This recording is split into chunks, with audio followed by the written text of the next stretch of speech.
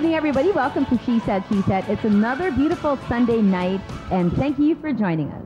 Thank you for joining us. It's nice to see you again. It's nice to see you again. And I am proud of uh, you being part of uh, a creation of our guest tonight.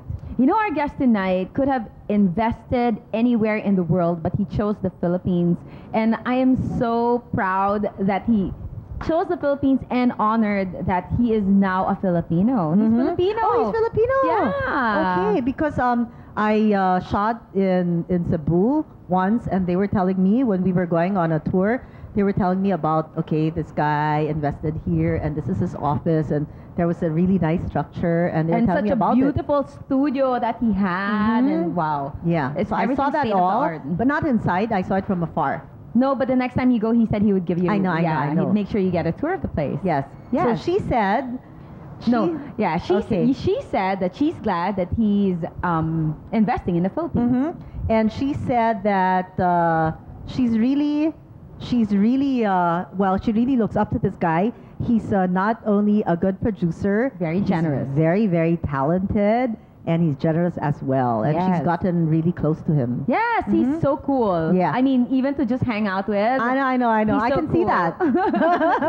so we're gonna meet this uh, wonderful gentleman when we come who, back. who doesn't look Filipino, but he is already Filipino. Yeah, he's we we made sure. Yeah. He's Cebuano. Does no, I'm he just kidding. speak, speak Cebuano or Ay, Tagalog? nako, he can sing in Tagalog. Talaga, better Ay. than you. I mean, not the singing, but No. the Tagalog The Tagalog? is better than Um, yours. he can sing the whole song in Tagalog. Talaga? Yeah. Ah, okay, yeah. Actually, he bought the rights to the remake of a Filipino song. Ah. See, he's really investing in the Philippines, We and he can sing that song. Let's make him sing that song. Of song. course we will. We don't have minus one. We'll make him Never sing mind, a cappella. acapella. Yeah, okay. I'm sure he can do that. okay, we're gonna listen to that when we return here on She Said, She Said.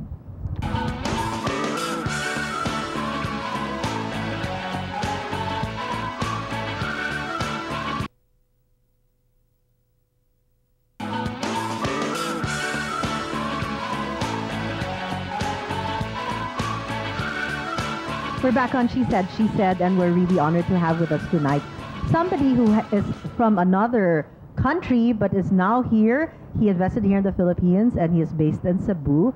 He is actually Cebuano. He's Cebuano not really Filipino. based in Cebu. He's actually based on a plane, on an Yeah, airplane. on a plane, but- he's constantly traveling. Like Uh-huh. he's right now building a house in Hong Kong, and Mhm. he's finishing his house in Singapore. Yes, but his office- second house, by the Yeah. way, the first house is so and, beautiful. and his office is in Cebu, right? Yeah, he has an office in Cebu. He has offices everywhere. Uh-huh. He's like one of the youngest um, people to direct and own like a production Direct, company. produce. And, uh, yeah, I mean, let's talk to him and find out more. But Mhm. the- this guy, he's like a jet setter. He literally just landed here. I know, for tonight. Yes, Yes. so we're so honored to have him here. Mhm. Landed in Manila from Hong Kong, came straight to the studio. Yes. And from here, going straight to the movie premiere. Yeah. Yes. Oh, okay. so we can't keep him long. Mhm. Yeah.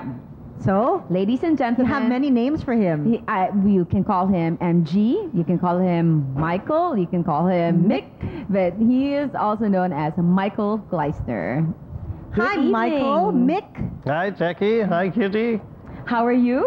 Fantastic. It's Thank great you How for are to be you? here. here. Thank you. Straight from the airport, you look re- you very fresh. Oh, yeah. I mean, it's Cool. uh, very refreshing to see the set here, see you so energetic, and thank you for the very flattering introduction today. You know you so- deserve You look it. good in red. Oh, okay. Thank you. Yeah, you know what they say about people who wear red? I don't know. They're in love. Ah, that could be. Hi, yeah. Kao. Mhm. Yeah, you are. You look like you Mhm. are in love. Yes. You are? I, I am. Oh, Yeah, very the good, thing about Mick is he loves his job. I mean, you can see the passion in him when he films, Mhm. when he talks about it, and nothing is done like just like that. Everything's like quality. hmm I- that, that's good. Yeah. Yeah. So, so when you were what? When you were young, what did you want to be when you grew up? Actually, that's a very interesting um, uh, intro to a story that you know I might have told anyway. You know, because when I was young, I always wanted to be, to be a musician, right? You know, Musician. I And what love exactly? music.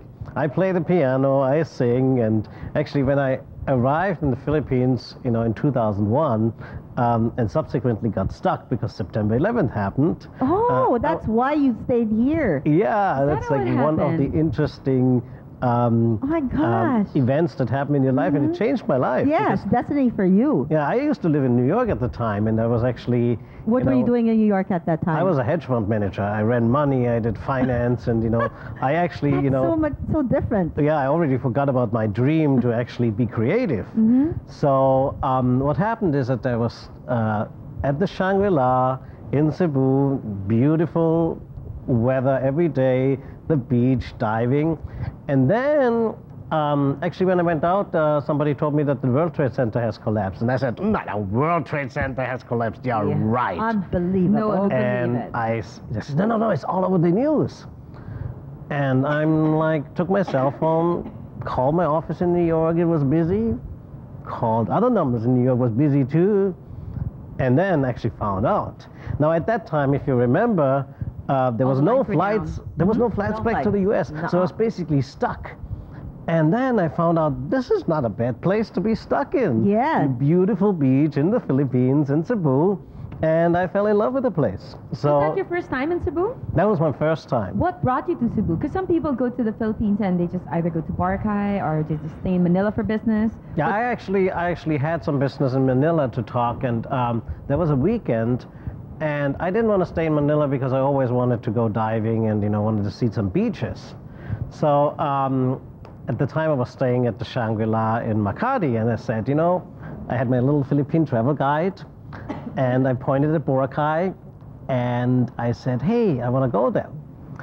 Uh, but the concierge was very, you know, very smart because Shangri-La didn't have a Shangri-La in Boracay, but they had one in Cebu. Smart. Said, right. Well, you know, Boracay, we have actually a really nice Shangri-La in Cebu, and boom, the pictures came. It's like, well, looks pretty much the same. I want to go back to the Shangri-La and thank her. Oh, I thank them every day. I mean, just, you, you know, we love if the not Shangri-La. for her, you wouldn't have ended up in Cebu. Exactly. And imagine the wonderful things you've done for it. Yeah, and So uh, you flew to Cebu Mhm. and and basically got stuck. I got the news, and everybody, you know, after a couple of days, was like panicked in New York, and you know, I'm like, I'm stuck. I'm stuck. I can't do anything. Enjoy it's, and relax. It's not a bad place to be stuck in. oh, I can tell you. all. So while everything was panicked, you know, things like events like that when they happen, they kind of happy you know a reason. trigger you to kind of take a step back and say, what do you actually do with your life? That's true. You know, I was running a big hedge fund. I was running money every day. I looked at monitors, and you know, I was living in, in a very beautiful part of Manhattan, like one block from the Central Park. I never went to the park. I never enjoyed nature. Mm-hmm. I never actually, you know, did. You know anything What for you really wanted to do and yeah, made you happy. No, the financial industry is actually very, you know, high-powered and a lot of mm-hmm. stress. yes. But at the at the end of the day, you ask yourself, what do you actually create? I mean, the financial, you know, banks. You know, I'm not getting into that Yes, yes, yes, subject yes. that everybody's talking about, but you, know, but you know, bankers, you know, what do they create except for toxic, you know, Mm-hmm. uh, toxic uh, uh, uh, uh, um, um, papers, you know, uh, the toxic mortgages, right? um, and and and you'd actually, you know, I found so a certain emptiness. I said, you know, I, I'm, I'm making a lot of money. Yeah, that's one thing, but you know, do you actually enjoy life? And so that's when I remembered, and also uh, when I was in the Philippines, everybody's into music. You can literally Yes. go everywhere, and you know anybody, you give them a guitar, they just turn Yeah, into these yes. amazing artists. And I said, boy, I've never done that. I've never actually, you know, pursued my creativity, and that's actually, you know, the inspiration came all from the Filipinos, the fantastic people I met in Cebu and Thanks around to the the Philippines. Cebuanas. Well, thanks to the all of the Philippines, right? exactly. and you know, um, so um, I said, you know, I want to pursue my dream, and you know, one of my dreams was always uh, the filmmaking. Um, we started a little film school because I, I never went to film school. I said, you know, if I'm in this beautiful place and I need a film school, I might as well open my own film school and become the first student. And But how did you start? I mean, who did you know from the industry? um, I actually um, um, came through to filmmaking through like corporate videos. Um, you know, in, in, in our life becomes our attention span becomes shorter and shorter and shorter, and when we actually, um, you know, used uh, our Philippine office to, to finally, you know, uh, uh, um, uh, help us with some processes. In the U.S., you see that you know communications is a big issue. You know, people um, have to can see each other face to face. They're on the phone, and a lot of times you end up you know doing all these presentations and these sales manuals, and you send it to somebody. Say, have you read it? And say, yeah, I've read it. And, the, and then you actually find out that that guy didn't didn't read it because people people don't read that much anymore, right?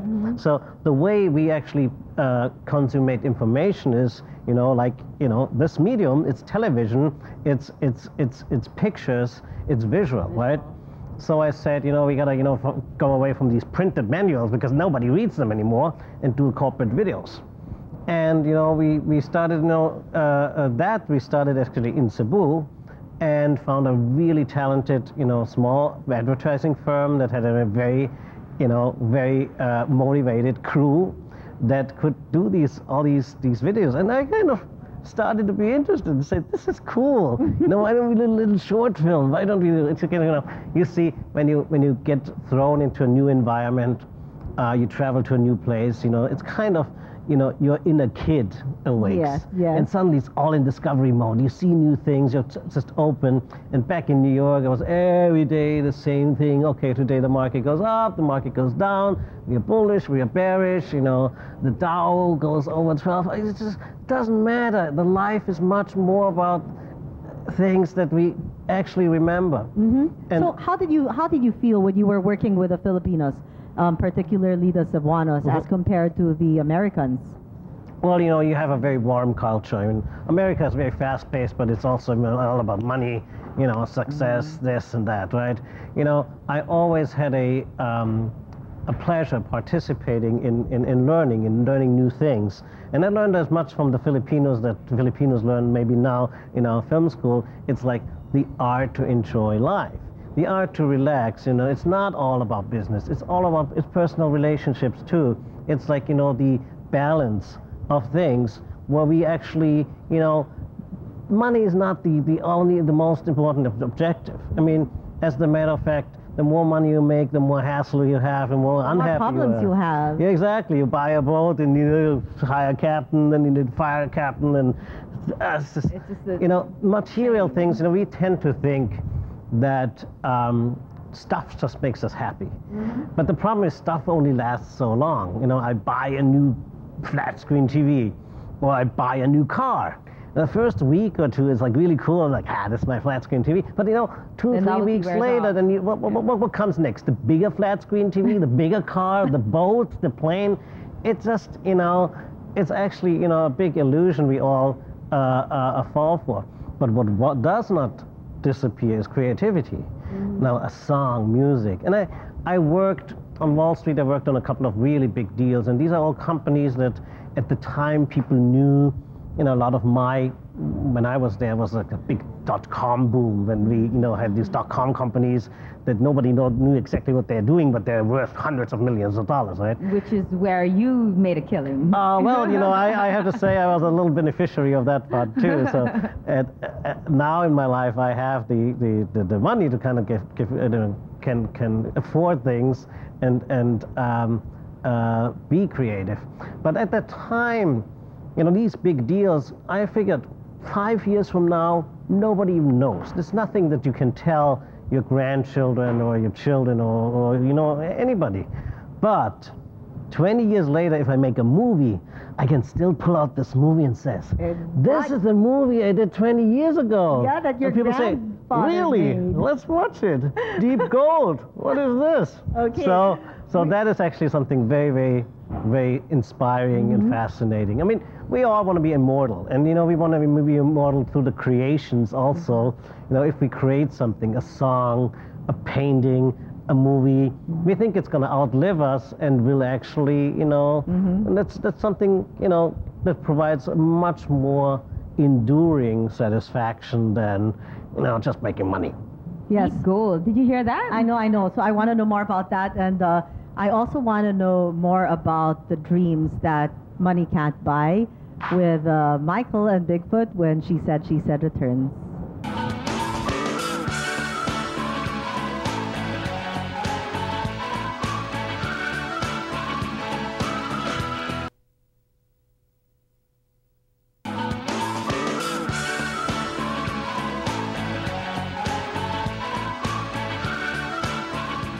Nagbabalik po ang She Said, She Said, and if you're just joining us, we're with a really big international film producer slash director slash actor with us tonight, Michael Geissner, who has a premiere of the movie Deep Gold. Please tell everybody. um, Catch it. It, it, sh- it should be showing already. yeah, it's uh, showing right now. Mhm. We just um, had a premiere. Congratulations! Congratulate Michael. Yes. Thank what you, a thank great you, actor. thank you. I, I cannot imagine you like like now you're being interviewed and then you know you being you play the bad guy. Because you can't hurt a Yes. fly. In real life, I cannot he is imagine harmless. you. That means you're really effective as an actor. Um, true. You, you you tell me after you've seen the movie. I'll tell you. But I'll you know, let you uh, know. uh, actually, everybody wants to play the bad guy. Nobody wants to play the good guy. The bad guy is just always the challenging. most desirable But role. yeah. sometimes it's also challenging to be the good person because you have to sort of uh, not downplay, but you have to act naturally, and sometimes people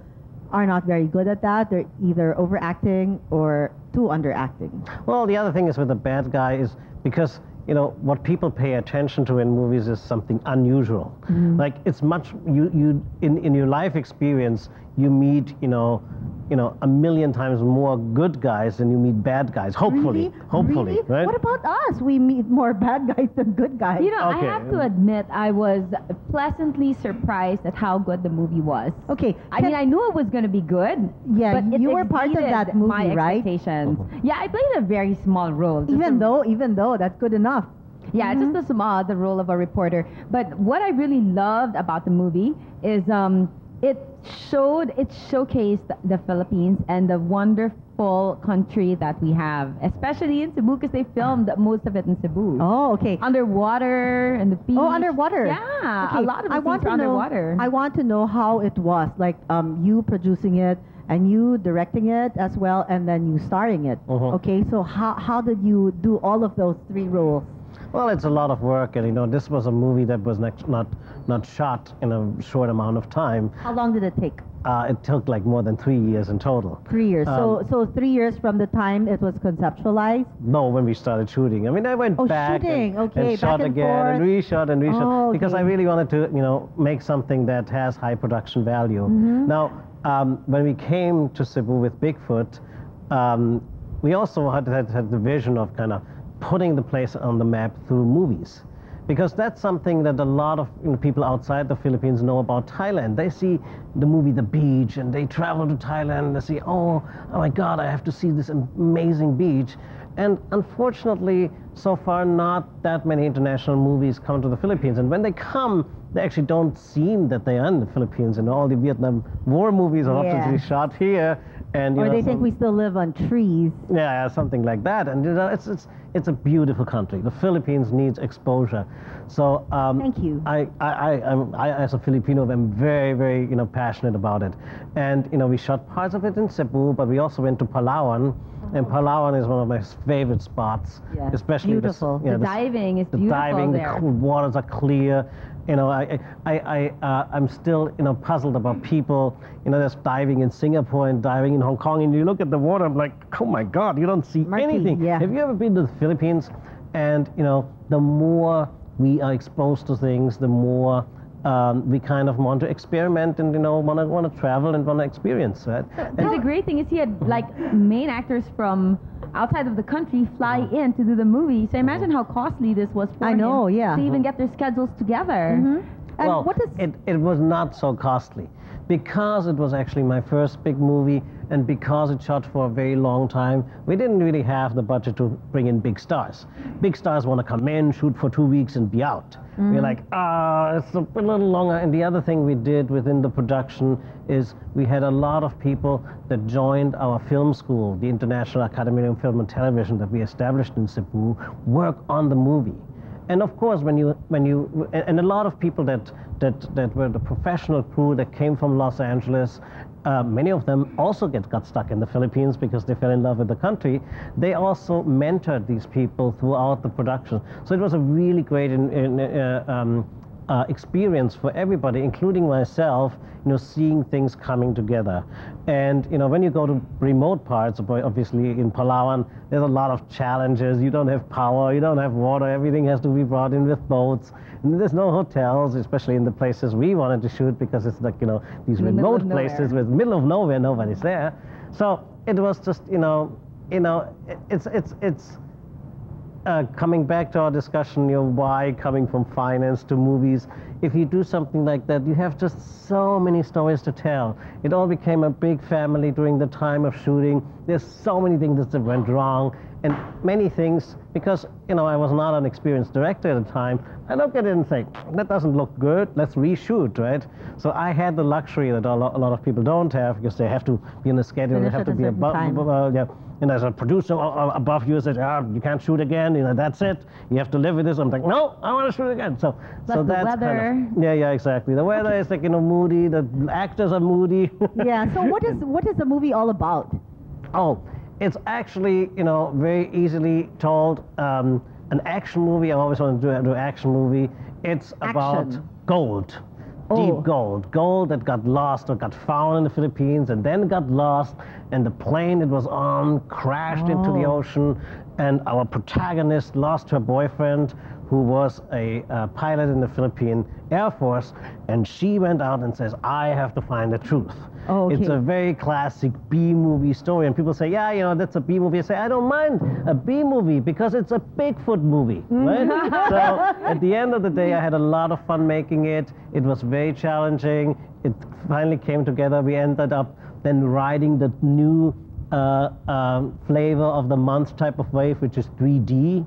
So we had our CGI people convert a movie That that, was excellent. Yeah, that was actually uh, I- when I saw the test, I didn't think it was possible. I gotta uh, I So it's it going to be 3D here in the It Philippines is in as well? 3D, so if you go to a movie theater, you have to put on your glasses. Okay, you I was all in 3D. surprised. In LA, yeah. they handed us like 3D sunglasses. I said, "You're kidding me, right?" Oh, you didn't like, know? I You No, didn't no. So know. here in the Oh. Philippines, um, I had you no can idea. you can show it in a 3D theater, and you can also show it in a 2D. Yes, yes. So it's gonna be both, or yeah, yeah, not all the theaters are, are, Are are yet upgraded to, equipped, to, to, okay. to 3D. so you can either So- watch 3D or 2D. Exactly. Yeah. I mean, um, it's Okay. it, it, it depends, you know, how far the, the, the, the technology is in the different Yes. theaters. Of course, you can always make 2D out of 3D, but Yes, not the other way around. Yes, it's a yes, little bit yes. more complicated. I'm going to talk more about the premiere in Hollywood when we mm-hmm. come back. So don't move. You don't want to miss the premiere of Bigfoot's Deep Gold in LA Westwood when we come back.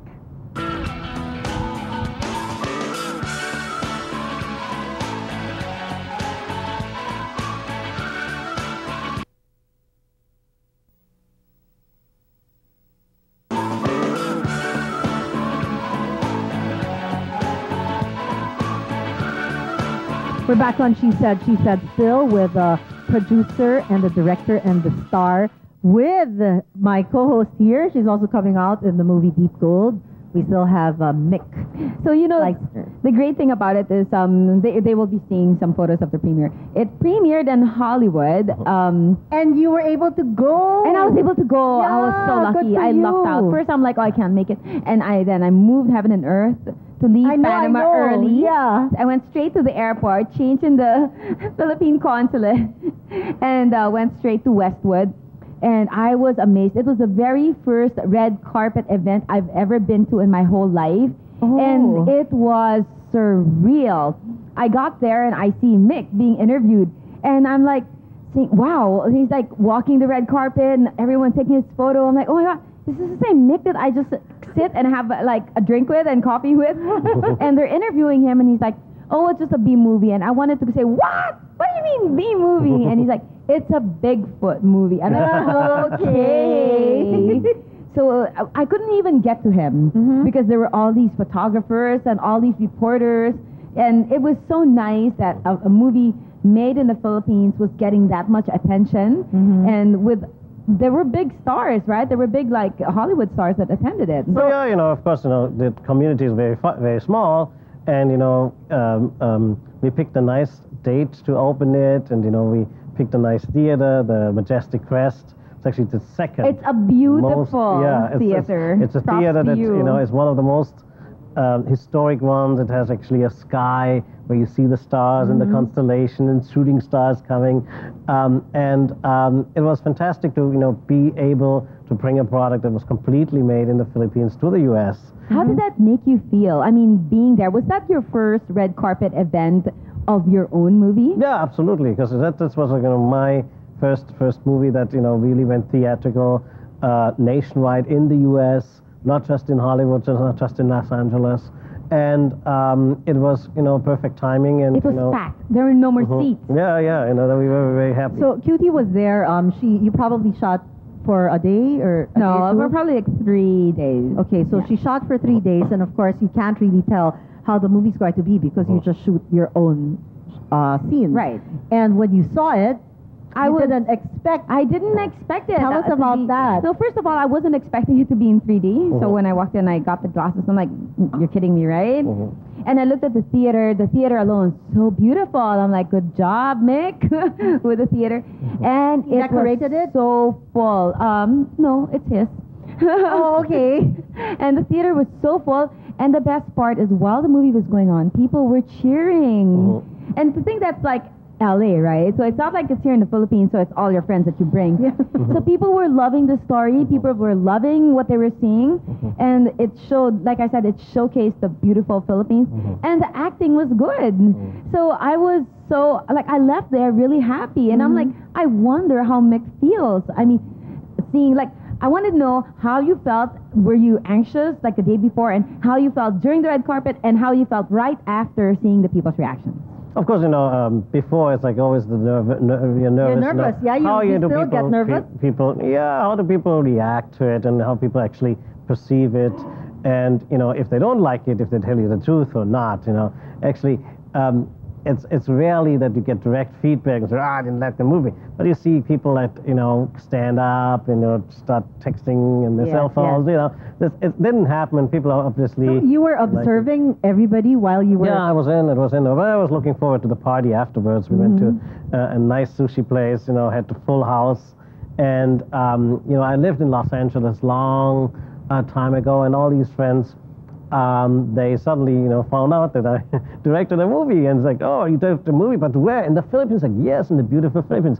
See the movie, see the beauty of this country, and you know, it has been, you know, a pleasure, and you know, got a lot of positive feedback, and uh, you know, as I said, it's an action movie. It's like, you know, it's it's not something that goes to Cannes. We have beautiful girls. We have, you know, hot babes, boats, underwater, finding out the truth and beautiful Philippines, and that's what I'm really proud of. The great part is uh, my best friend told me she heard about it on the radio on her way to work that morning. Mhm. Your best morning of friend, the- where was she? LA. She lives in LA and Mhm. she um, she's a dentist. And on her way to work, she was listening to the radio and they were talking about the premiere that night of Deep Gold.